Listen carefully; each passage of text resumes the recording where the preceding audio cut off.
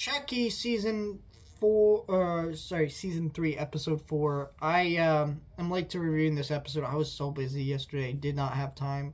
So I woke up this morning and finally watched it. So that's why you're getting this review later than normal. Uh, it's a really good episode.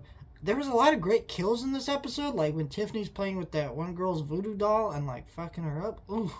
Uh, there's the whole um, kill with the uh, the chandelier. Like fuck.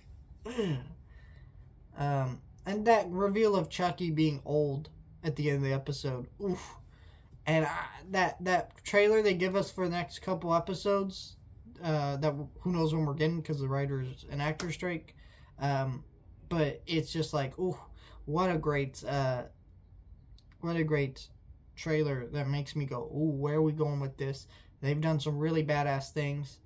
Um, and you know, I don't know. I feel like though, maybe next season we need to phase out the kids.